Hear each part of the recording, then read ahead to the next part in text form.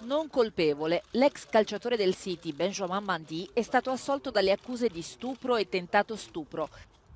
Al vaglio dei giudici fatti avvenuti tra il 2018 e il 2021, la sentenza della Chester Crown Court è l'epilogo di un lungo procedimento che vedeva alla sbarra, con nove capi di imputazione diversi, il campione del mondo 2018 con la nazionale francese. Alla fine è stato assolto da tutti. Mandi si era sempre dichiarato innocente. Non gioca una partita dal 2021.